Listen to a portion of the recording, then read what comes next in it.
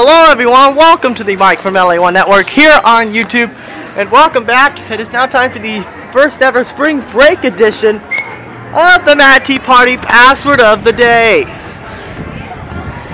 That's right, as while everyone's getting ready for the parade, the tea party is just less, almost less than an hour away from party time. Eh, or should I say, tea time, if you will. And don't forget, this will be a back-to-back -back spring break edition of the password of the day. So without any further delay, let's go through the rabbit hole during the day.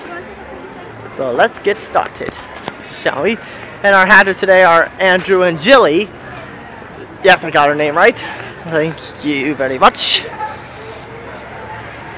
And tell me! Okay. The first thing you see in the band. Tell me this guy looks familiar. Yep, it's good old Johnny. The caterpillar.